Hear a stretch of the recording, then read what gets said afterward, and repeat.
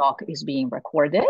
So I want to ask you to please um, to keep your microphones muted during the talk. After the talk, we will have plenty of time for questions. We've all become very adept at using Zoom for this kind of uh, programming. So feel free to use, uh, when the time comes, all the tools that you can avail yourself of. You can use the hand raise function. You can type your question in the chat, uh, or you can simply type, I have a question, and I'll call on you when the time comes. Um, now, without further ado, let me introduce our speaker, uh, Dr. Tafat Hacohen-Bick, uh, who is a scholar of modern Hebrew literature, specializing in the field of secularism and religion. She completed her PhD in the Department of Hebrew Literature at Ben Gurion University of the Negev, and in 2022-23, she was a fellow at the Herbert Katz Center for Advanced Judaism Studies at the University of Pennsylvania. She is currently a visiting research scholar at CUNY uh, through the Center for Jewish Studies, and she is also a visiting scholar at NYU, where she is teaching a class. Her talk today is entitled Writing Fear, Literary, apologies, Writing Fear, Literary Depictions of Musar Literature. Thank you so much, Tafat. The floor is yours. Here is, is it good, right? You see it? Okay, so I will start. Okay.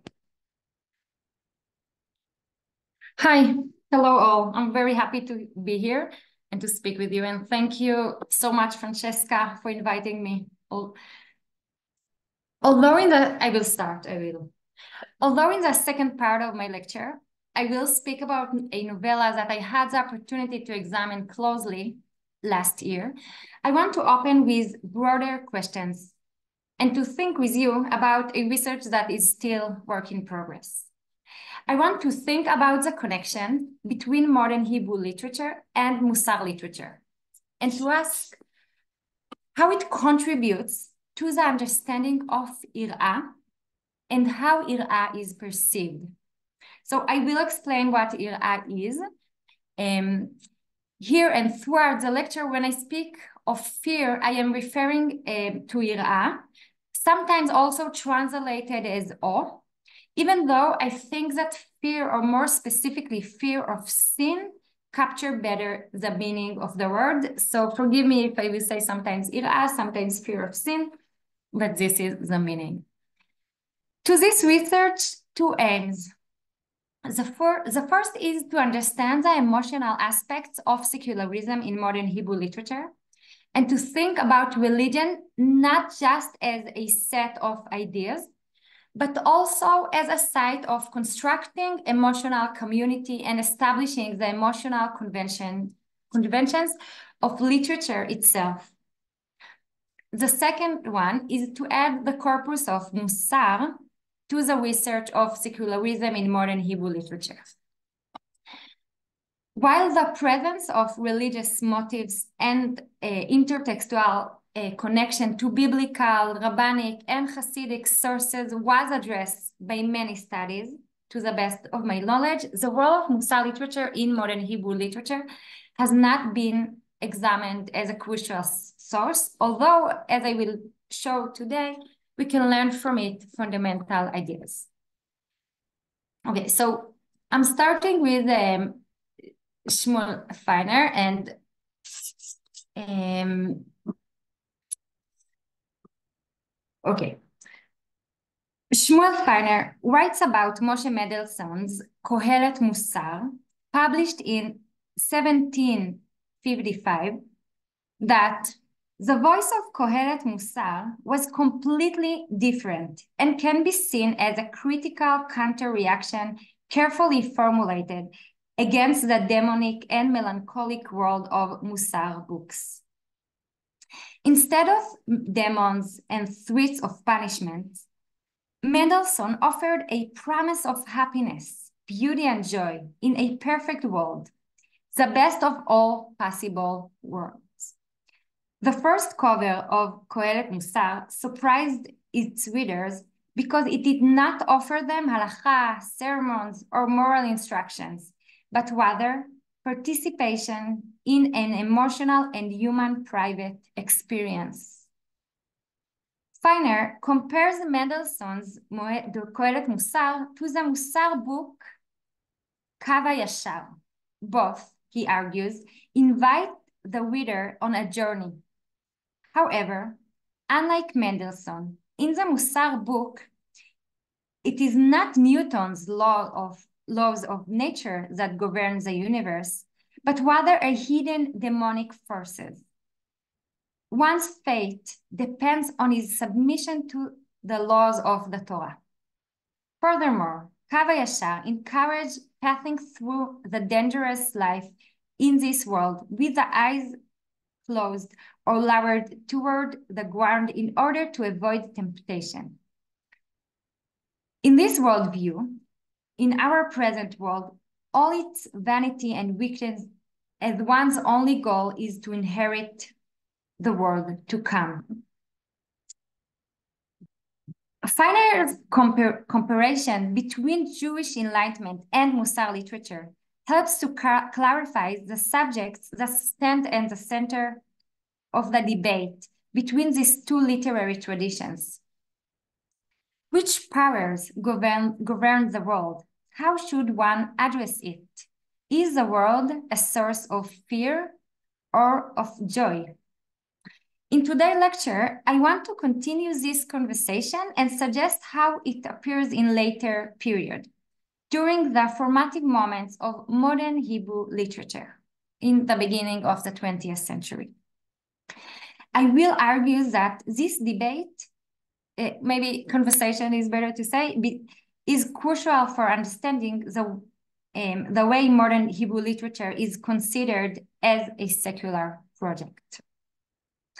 I argue that at the early moments of modern Hebrew literature, as part of the formation of a new emotional language and of the Jewish subject, there was also a more specific effort to reconstruct the emotion of fear, or more precisely, to reconstruct fear as non-emotion. However, the need to reconstruct the emotional language is necessary, I will argue, precisely due to the great effective power of Musar literature, which she seeks, as Avriel Bar-Levav has beautifully shows in an article on the remembrance of the day of, the, of death, to make use of the transformative power of story to change both the reader and the narrator. The use of stories and literary techniques should be understood as technologies of the self, says eh, Avriel Bar-Levav. Thus, Musar literature functions as spiritual guidebooks for, of, for self-perfection, as Patrick Koch defined them, that use literary techniques to affect the readers. In other words, the encounter between Musar literature and modern Hebrew literature is not one of halacha and Agada as two uh, separate spheres. On the contrary, modern Hebrew literature joins into a, a very intense emotional sphere and seeks to neg negotiate with the existing emotional community in an attempt to formulate a new one. Before continuing, I want to say a word regarding the Musar genre. First, I want to emphasize that there was a tendency to understand and to translate Musar to ethic. But Musar and ethic are not the same. Patrick Koch explains that indifferent from ethic, authors of Musar conceived conceived self-perfection only in relation to the divine often evolving in accordance with the normative regulation, regulations, sometimes expanding them. In other words, personal improvement constitutes an, an affirmation of God and at the same time, a subordination of one's self-interest to greater div divine plane. Things that I had it here and I'm sorry for not sharing this paragraph with you. Ah, okay, this is the next one. It's good. um, but this mistake of understanding Musar as ethic, it's, um, brought to an interest in Musar literature. And I'm reading, in trying to establish a Jewish version of ethic, scholar of the Wissenschaft school adapted two opposite strategies. The first promoted a model of unequivocally, genuinely Jewish ethic, which encouraged the perception of the Jewish religion as, as the epitome of ethic per se. I'm, I'm skipping to the next sentence. It was just, it, it was these two divergent understandings that substantially shaped the academic discourse of later generations, reporting uh, Musar as a Jew Jewish ethic and laying uh, the groundwork for what would later develop in the literary genre of Sifrut HaMusar. In uh, my Quarrel with Hersh Rasseyner, an essay of Chaim Grade, which was published in 1952. The speaker, a secular writer by himself, had a dense conversation with his old friend Hirsch, who still follows the Musar path. They engage in a deep theological debate regarding how to understand the place of Musar movements relation to the world. And here's a speaker uh, speaks to uh, his friend, um. In Novaredok, you always kept the windows closed, but it was still too light for you in the house of the study, so you went off to your garret.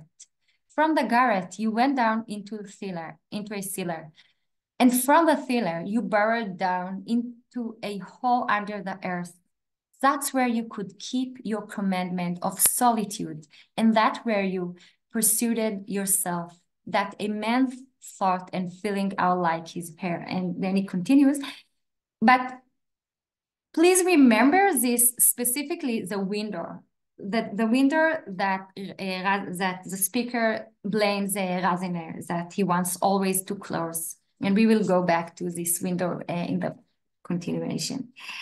Although this essay is usually uh, viewed through the perspective of the Holocaust, at the center of their debate is a question of how to treat human desires, whether to transfer them into art or whether to fight them.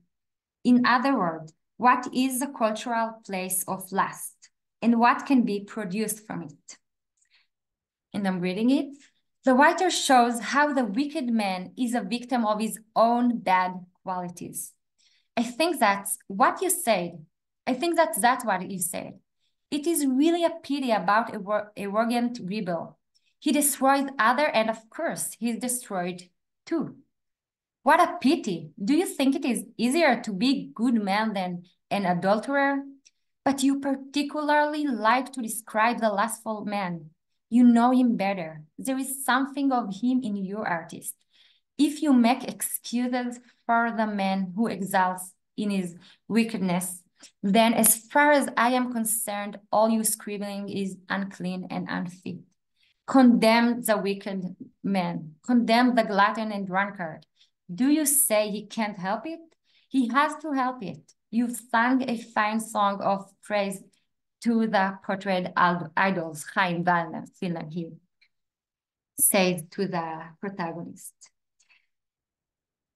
If I may use this essay as a model or as a frame story, in my research, I want to draw the conversation between secular literature and the Musar literature, and to ask what we can learn from it.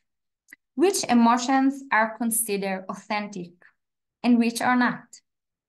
how ira, again, fear of sin, is perceived. Why in this moment of Jewish history do these two different types of literary of um, types of writing emerge? What can we learn from the centrality of sin in secular, I say secular, but uh, in secular literature uh, about lit regarding literary conventions and in what aspect those conventions are still relevant for current literary theories. As one uh, example, as one uh, close example from from from now, I will examine the important Hebrew novella Le'an, Whither, uh, of Feyerberg, by focusing on the way it uses parodic language and ridicules traditional Musar literature in order to create an emotional and literary shift necessary for the creation of a new secular subject. Necessary, of course, in the uh, in the literary eyes, in, in the in parodic discourse, as shown by uh, Michael Bakhtin, two languages are crossed with each other. The language being parodied and the language making the parody. That, that which the author of the parody conceives as the normal and healthy language. Secularism, as we know, does not represent a completely new historical phase, unattached to earlier traditions, and, and its relation to previous textual tradition is not based on erasure or disregard. Like parody, secularism is profoundly palimpsestual, and thus, in order to decipher its meaning, one must read through all its layers and the new and the old, the parodied and the parodizing, alongside and against each, each, each other. Through the examination of the place of Musar literature in Feyerberg's Le'an, Whither, I will demonstrate how fear of sin was presented in the early stage of modern Hebrew literature as a non-emotion. I will argue that overcoming the feeling of fear of sin, irat is a necessary step in the birth of the new subject. I will show how fear of sin is presented throughout the novella as pathological and as sickness. In other words, um, fear of sin is presented, presented as obsessive thought of which one must break free in order to be born as a new and healthy individual. Whither Le'an was published in 1899 in HaShiloach after Feyerberg's early death. And it, it, it, it taught as a fundamental text for understanding Hebrew literature. The narrative tells the story of Nachman, who, as the rumors in the town says, has gone mad. It opens with an event in which Nachman deliberately blows out a candle in the synagogue on Yom Kippur, an act from which there is no return. The novella follows Nachman's struggle between asceticism and religious devotion and his passion for a life celebration, a celebrating nature and youth. Through this struggle, we are brought into Nachman's intense stream of thought, thought the novella ends with Nachman's speech where he calls to leave Europe uh, for, uh, for the East where Jews can live healthy and free life. Feyerberg was born in 1874 in the town of Novorod um, Volinsk and died in the, at the young age of 24. His early and tragic death rendered his, uh, this work the status of a kind of unfulfilled promise. And although it quickly gained canonical status, its reception was also suffused with contradiction that can be seen in almost any, any text written about it. As early as 1921, uh, Shimon Rawidowicz declared that Whither is the book of a generation.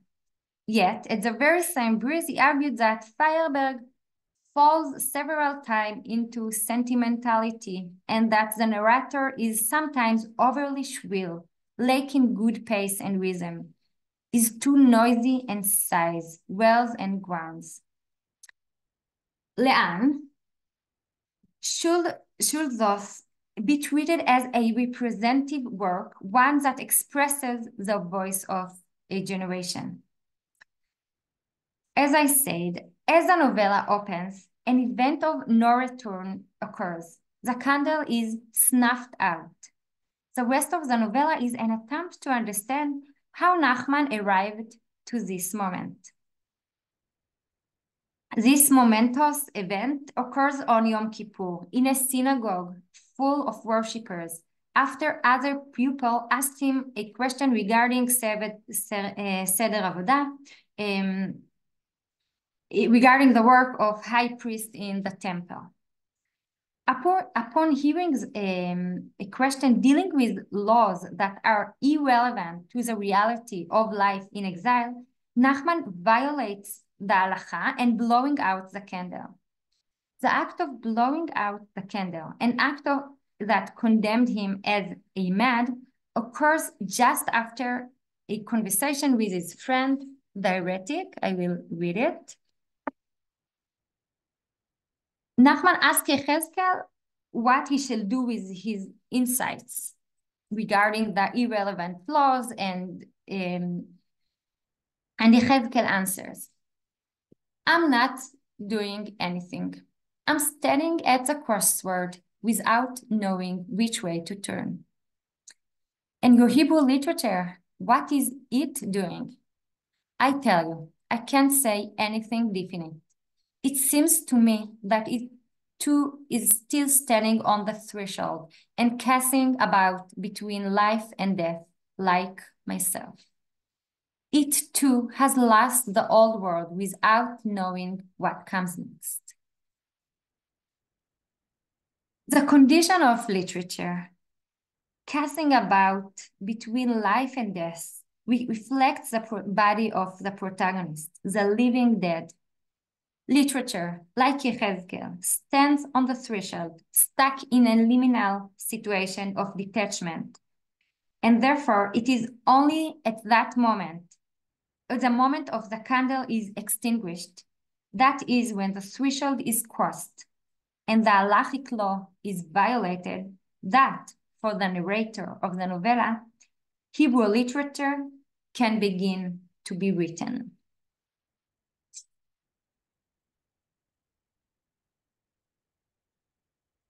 Nachman's famous speech, which closes the novella and directs national desire towards the East and the land of Israel, Wither was read mostly through a national pr a prism, rather than in the context of secularism. Therefore, in this part, I will show how Nachman's stream of consciousness occupied by Musar literature and how the novella constructs as a kind of stream of consciousness of a God-fearing man. In this novella, the birth of the new literature depends on the moment of separation from the fear of sin via parody of God, the God-fearing man. Um, I want to see how much time, so I will skip this one, maybe, and I will go here.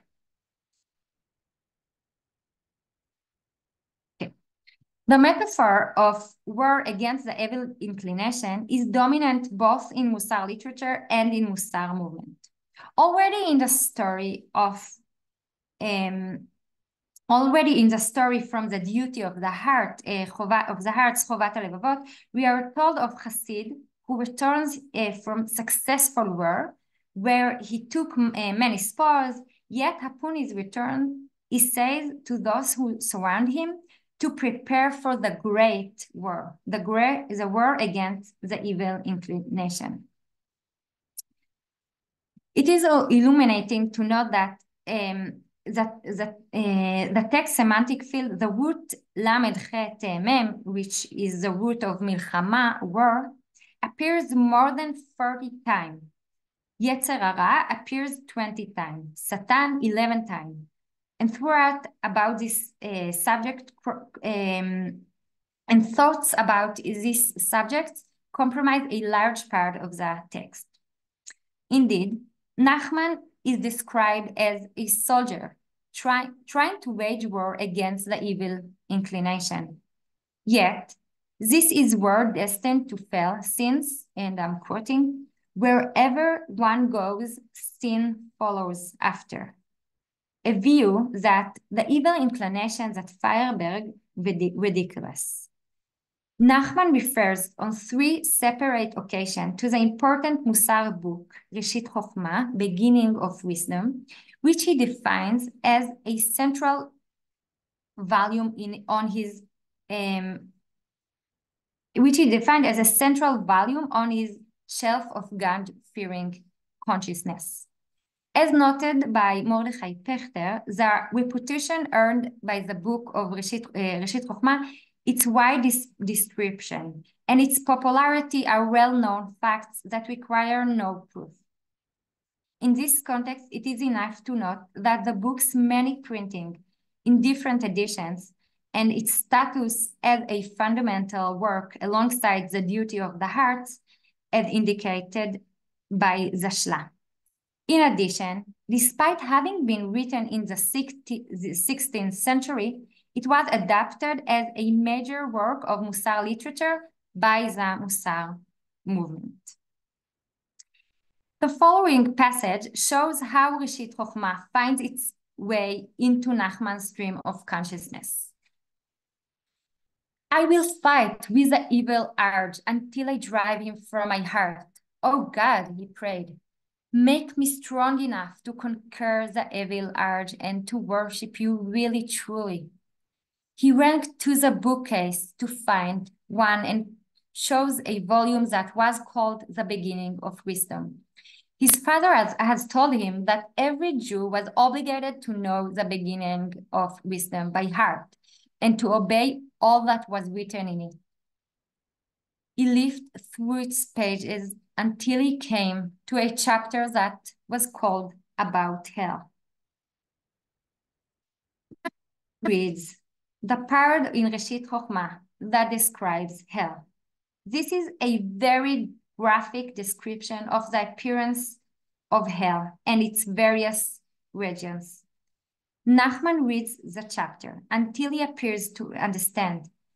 Hell is not in some distant place. Hell is a, a, a life perverted by an intense awareness of sin. That is the true punishment. And I'm reading, the book lay open before him, but he could have been blindfolded for all that he saw. So it is all true, he thought. This is true that there is really a hell. Wherever you went, sin followed after. If you didn't say amen the right way after a single prayer, your soul was already damned. If you forgot to wash your hands, even once before praying or eating, it was condemned to live in a frog for seven whole years. It is a terrible God. It is so hard to live in, in your world. The narrators, the narrator's statement, wherever you went, sin follow after, a statement that, in fact, mocks the very possibility of avoiding sin, expresses a familiar voices, voice in Musar movement. In addition, if we consider the terminology of Reshit Chokhmah, we can understand why Feuerberg chooses it as a typical example of the semantic of war. Sin kills just like an, I'm quoting, enemy who strike with the sword. And therefore, he who wishes to avoid it has no choices but to engage in this war. The battle against klipot and impure thoughts continues at night as well when the Reshit Chokhmah reappears. And at night, oh, how terrible the nights were. The battle that we re, uh, then. How many dreadful warnings were written in the holy books about the nighttime kingdom of the Klippa. One thing he knew, however, he was alone by himself in a terrible black world. The whole world lay in ambush to drag him down to the fiery pit to hell. And he, how weak and lowly he was. But why then? The thought went on torturing him. Did he create a terrible world? God was good, but if you didn't wash your hands when you were supposed to, he might turn you into a frog. The two passages quoted uh, above illustrate the intense struggle Nachman experienced, expressed in feverish dense stream of consciousness and obsessive and pathological thoughts about sin. The same sentence is repeated in both passages. If you didn't wash your hands when you were supposed to, he might turn you into a frog.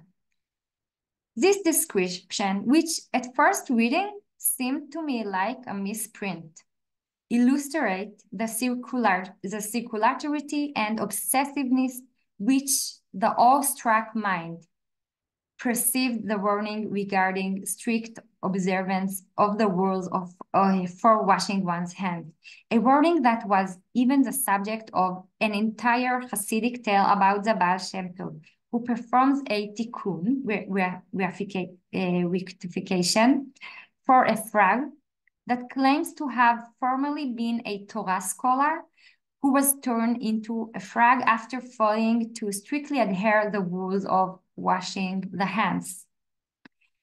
A metamorphosis as a typical example of fear, a, a, a, a example of fear and deterrence of sinner, particularly one that is accused by the infra um, of seemingly minor laws, is the best example of exaggerated fear.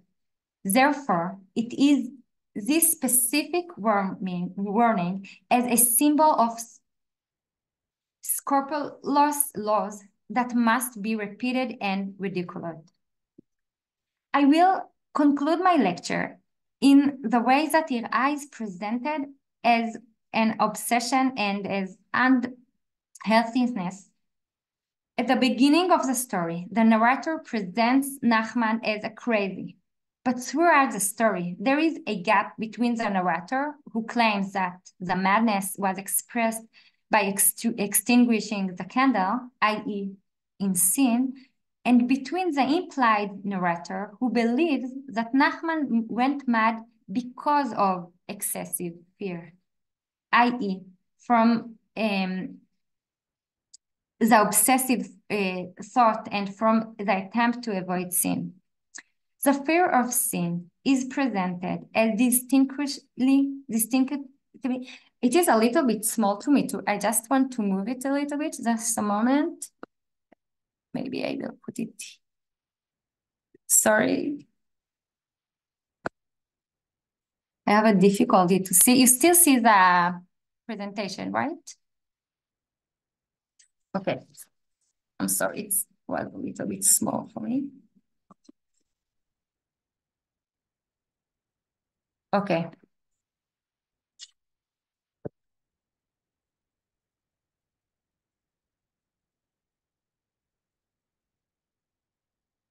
Okay, this, this gap is exactly what clarifies the course of the story, the presentation of the fear of sin as a disease, one that must be overcome in order to give birth to the healthy secular body. Throughout the novella, the tension felt between interiority and exteriority illustrates the sickness of the awestruck Jew, who, seclu who seclude himself from nature. The protagonist sees nature and youth outside, but is enclosed in the dead world of the Bet Midrash. This tension comes to a head uh, when he looks out the window as a kind of threshold between the external and internal world.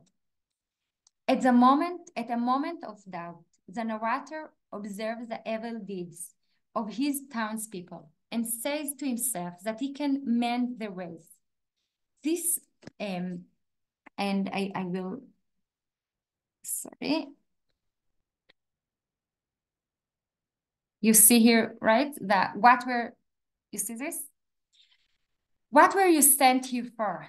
To repair much and purify the soul. And here, the evil inclination turns your heart to idleness, to enjoying frivolity and delusion. The windows and doors of the houses are open. Are open.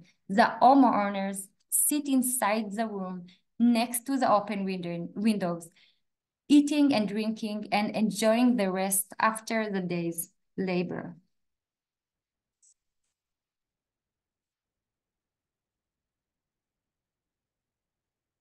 Yet, with, with this puzzle, I will finish my lecture. How should we understand this passage? What is the sin of the homeowners? What is, why is an open window a sin? This is easier to understand with reference to the tradition of Rabbi Simcha Zissel, the Alter of Kelm, pupil of Rabbi Israel Salanter. The, the Alter of Kelm was well known for his sternness. A tradition cited by Dov Katz relates that Rabbi Simcha Zissel found it particularly, in, particularly important that anyone entering the house should remove himself from everyday matters and absent-minded thoughts. It is said that the yard of the study hall was surrounded by a tall fence and that the building's windows were always closed and covered with curtains to prevent idle thoughts. It is even related that, and I'm reading from downstairs, once he noticed that one of the pupils, while arranging his study materials, raised the curtain of the window to observe what was going on outside. The Alter of Kelm then said that since the pupil could not control his curiosity, there was no hope for him. It is thus conceivable that this radical demand uh, as an example of a broad phenomena was the source of Feuerberg's criticism of the God-fearing man who cut himself off from nature and the ordinary reality of the world. Friend uh, Jacob uh, Joseph Wald, friend of Feuerberg, who together with other um, supported uh, uh, when he was ill, um, writes that Judaism in general is exalted and full. I, and I, I just want to show this. Okay. Judaism in general is exal exalted and full of splendor, but it is very terrible. The evil inclination, the sitra achra, the klipot, the fear of sin and its punishment, hell, the holy books, the talisman, the oath, are all filled with a fearful majesty. But they steal away life. They put to death the longing of youth, the joy of youth on its splendor. And here begins the horrible, terrible war. According to Wald, the, to Wald, the struggle against the evil inclination will give way to the birth of a healthy man. There, in the land of our forefather, there will be no place for all these those internal defects of the soul of the nation, no place for that, that heavy work conducted in the soul of he that lives in the twilight of the exile. In other words, Wald associates Zionism, nation, na, Zionist nationality with the moment of release from the fear that symbolizes the burden of the Galut, exile an internal defect, defect that of the national soul. I won't enter here into the discussion of the connection between nature, health, and youth in revival period, uh, literature in the beginning of the 20th century. All these are important issues that lie in the background of my argument. My focus, though, is on the connection between strict adherence to to the, um, the Jewish law, to the halacha. I would like to propose that understanding the trajectory no, noted about uh, noted can explain how, in the beginning of secularism process, religious elements of strictness were perceived as sickness and as obsession. In 1907, Freud published his seminal essay, Obsessive Actions and Religious Fervor. It seems that between religious and neurotic guilt reflects a, um, I'm sorry, I see that my time is over, so I won't open the foil. I will, I just will say that um, I think that I will finish with with it. Um, uh, you you can I take a few more minutes. Yeah, you can take okay. a few more minutes, Tafa. Of I course. suddenly was afraid that it's okay. So okay. Okay, so um Freud opening declara declaration that he's certainly not the first person to have been struck by the resemblance uh, between a religion and the neurotic guilt may indeed attest to a common perception that noted the similarities. Um, in an article about obsessive compulsive disorder and religious um, Paul carefully. I will show it here.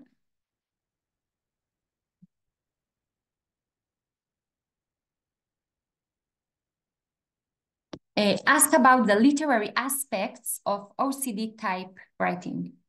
If depression tends toward tragedy and psychosis can be perceived as romantic, under which genre should we situate OCD? I would suggest that obsessive compulsive behavior, behavior is most aptly described as tragicomic in nature. With this in, in mind, I would like to suggest that Feuerberg's writing seeks to ridicule the obsessive Jew, and that reader Le'an is not tragic or romantic as is usually understood, but rather much more parodic or perhaps tragic comic.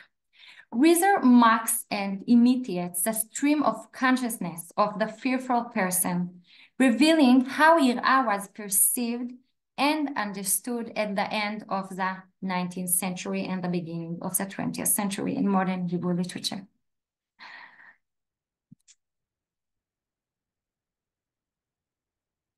Thank you. Thank you. Thank you so much. Thank you so much, Tafat. This was a, a really stimulating talk. Thank you for sharing some of your work in progress. Um, I uh, so I'm sorry for questions. struggling between the medium of the. No, that that was fine. That was fine. and uh, so we we we have time for questions, and as uh, we're waiting for questions from the audience, um, I maybe I'll start and this was a you know for me a beautiful sort of took me back to a previous uh, Gilgul. I studied Hebrew literature when I was in college, and so this uh, you know resonated a little bit with some of the themes. Um, you know the novellas that that I used to read when I was twenty something. So uh, thank you so much for that as well. But um, I have a question about the theme of Yira uh, the the fear uh, of evil, the fear of sin uh, that uh, sort of pervades the Musar literature, but even pre-Musar, it sort of reminded me of some of the themes in the Hasidic Ashkenaz literature. So pietistic literature in general, and the authors in the 19th century, right, the early authors of the, you know, Haskalah literature or early Hebrew literature, they clearly have Musar in mind, but what are the uh, what are the resonances with even earlier medieval expressions of these themes? Were you able? I don't know. You know, I'm just throwing the question out there uh, because clearly Musar is also drawing from that early pietistic uh, literature itself. So I just wonder uh, if we can even push it further in time to tropes that have um, sort of per per percolated in Hebrew literature for centuries, uh, well before Musar. Okay, thank you so much. It it really it really question that bother me. What is the uh, definition of Musar literature, but not as a, an empty question of we need definition. I think that I, I have two questions for this. Um, the first is what I began the lecture with is that the definition is is part of this um, attempt to find a, uh, musar as an ethic, and then to put many texts together and to call them musar literature. So this is a maybe a more historical uh, explanation for how it became like a genre, but I think that um, that um, I explained to myself that what I'm trying to do here is to understand the bookshelf, um, the dominant bookshelf of the Musar book. So it is also um, Hasidei Ashkenaz, you really right. And also to understand, because we have the Musar movements, uh, movement in the 19th century. And they don't just a movement, but they're also bringing back to the circulation of reading many Musar books. So I think that what really interesting me is also, also to understand who read what, who reads what, and what books became very dominant in this time, and maybe to try to organize what the Hebrew writer um, was struggling with, what books they had in mind, and what books were dominant. So I think that many of, um, I think that part of the uh, Hasidei Ashkenaz, I think that Sefer Hasidim is very dominant in this um, time. Part of the um, um, project of um, Patrick Koch was to do a map of the Musar book. So I tried to use it, um, but I, I still need to understand.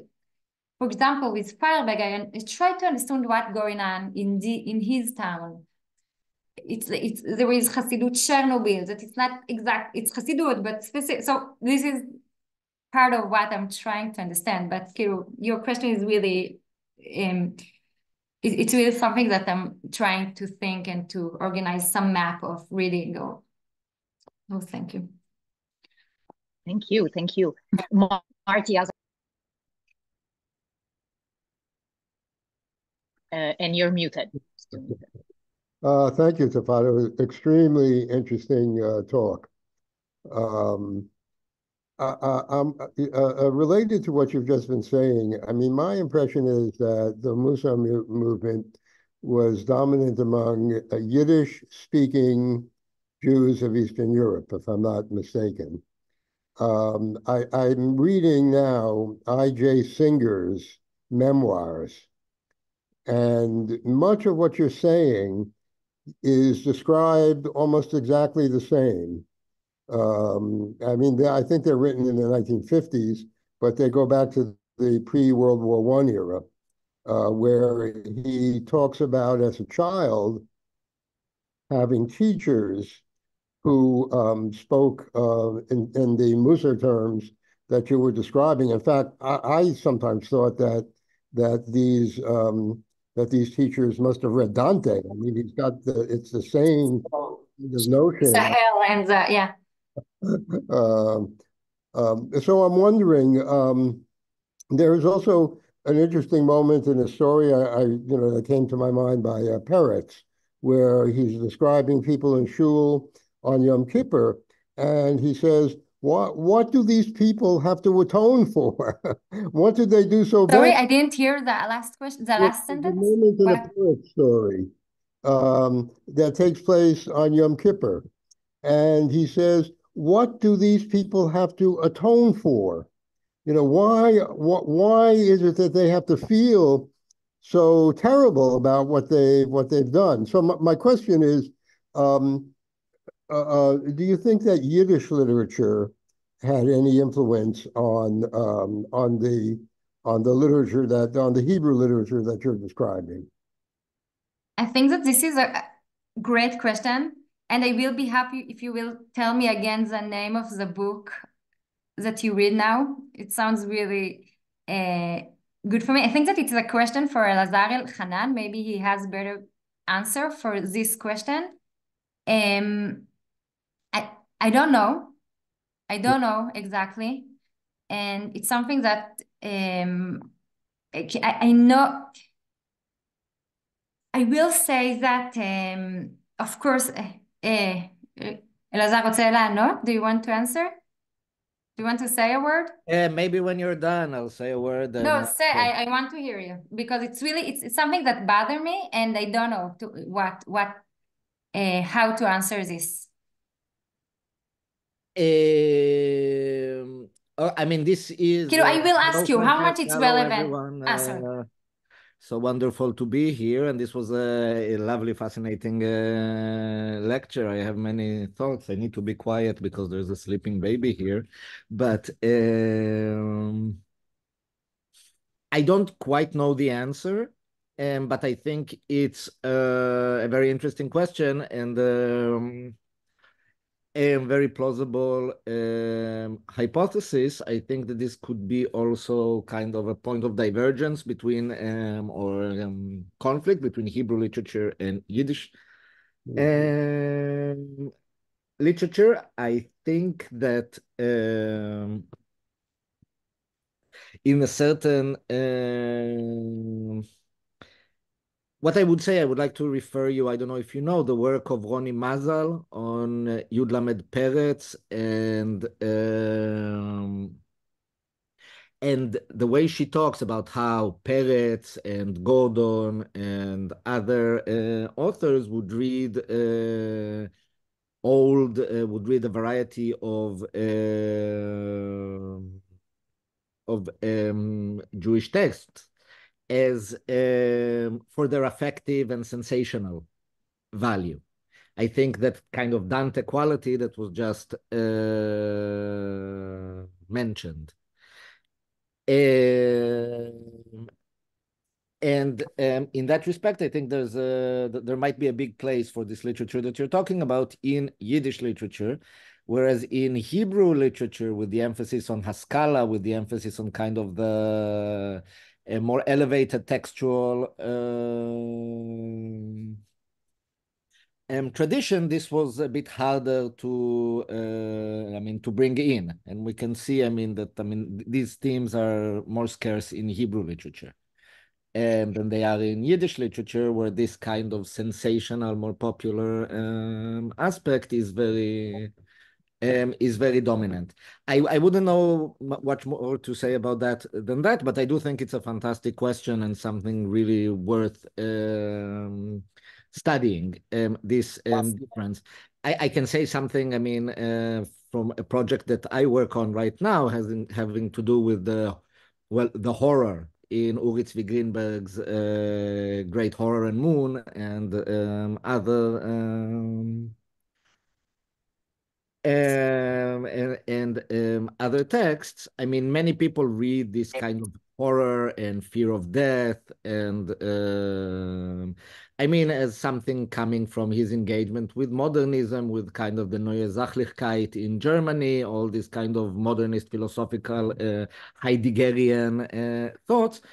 Um, I think that what you're proposing as this kind of being a translation of Yira'ah, of this uh, fear of God, could also very well work there. But I do think that, I mean, he does collect this as sensational material, as affective material from old uh, Hasidic writing and old Jewish writing that he references a lot in in his writing as much as he does um, futuristic and expressionistic uh, German and uh, um, and um, other texts.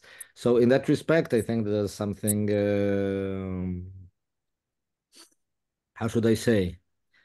Very solid and very fruitful in what you're, uh, at least from from my perspective, in what you're suggesting.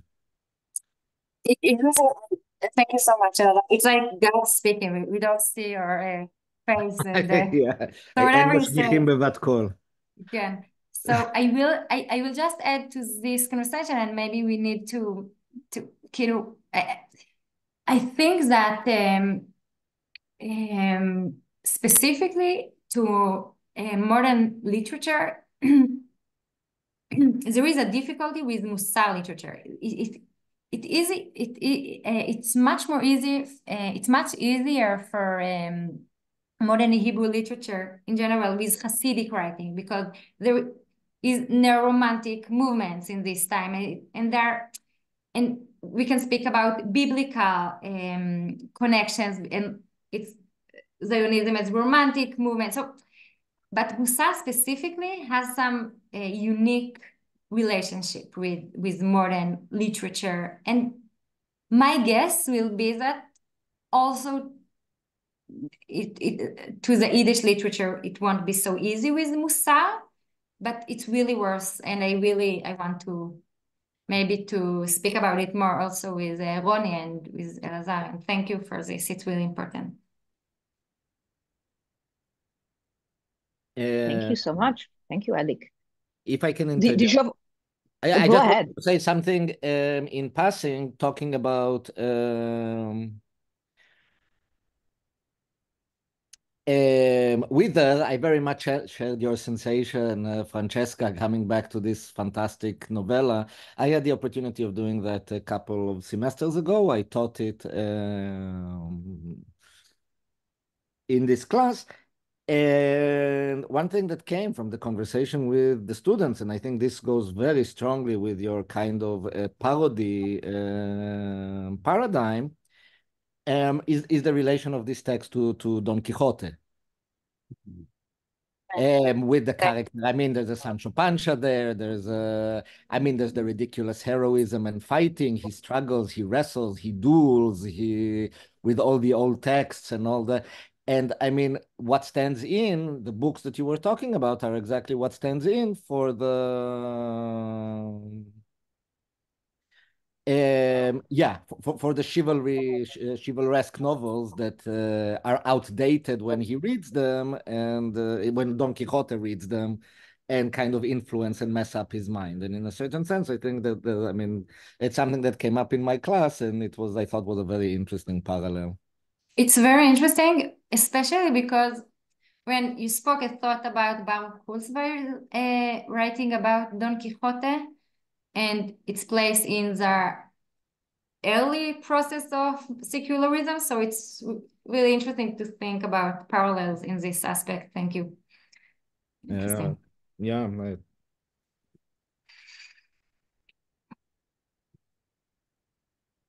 Are there any other questions? For the big uh, audience, thank you for coming. I really appreciate it.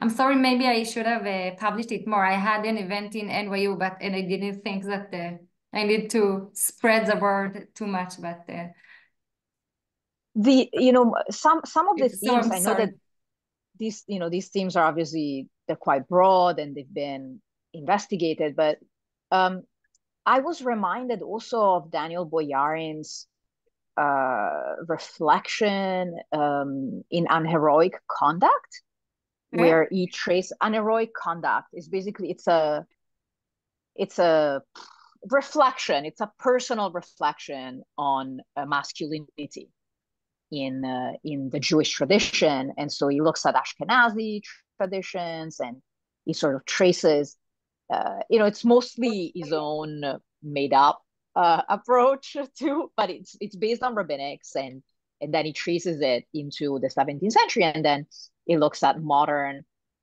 uh, modern uh, Jewish reflections, including Freud, on masculinity, and some of the some of the themes resonated uh, with with uh, you know what you were with what you were saying. So the, the, the, book is the book is entitled "Unheroic Conduct," and he essentially traces the. I was reminded at the end when you know brought up the quote about OCD and the scrupulousness in um, following uh, you know mitzvot and and the ritual commitments. Um, uh, according to Boyarin, Jewish men in the Ashkenazi realm are desirable, sort of the uh, you know the Talmud Chacham is the desirable, the sexualized masculinity ideal and that comes under fire only later in the 19th century when new ideals of masculinity become uh, more desirable. So this this whole you know idea about the OCD and the neurotic element in uh, the Ashkenazi religious tradition, it kind of resonated with that. I don't know if it's helpful, but no, you know. it's absolutely very helpful because I think that this um Feuerberg, the text has some conversation with with the emerge of the idea of mental health. Mm. Um, so I think that there is something there that I need to find more, and um, it's like it's the beginning of of a conversation that we can really in this moment of the beginning we can see very clearly the fundamental ideas of of it. So yeah. and that connection to secularism in a way. So thank you. Yeah. I will look for it. Thank you. Are there any other questions, Marty or Eric? I'm uh, I'm good. Just uh, congratulations, but It was very interesting. Thank you for joining. Thank you for thinking with me. Thank you very much. You, I have Thank to you. tell you one thing. I went I went to a yeshiva named after Yisrael Salanter, and we never heard a word of Musar. really? No Musar, so why? Thank you so much. Yeah. Thank, Thank, you. you it was really, really good. Thank you very Thank much. Thank you so much, Tafat. I was really happy to meet you. Thank, thank you. you. It was excellent. Thank, thank you. So thank you for, for Francesca, yeah. and thank you for all, all the help and everything. Thank you. Absolutely. Thank you so much. And uh, yeah, best of luck. And thank we'll you. be we'll be in touch soon. Okay? Thank you. Thank you very much. And goodbye. Have a great Bye-bye. rest of your day. Bye-bye. Bye.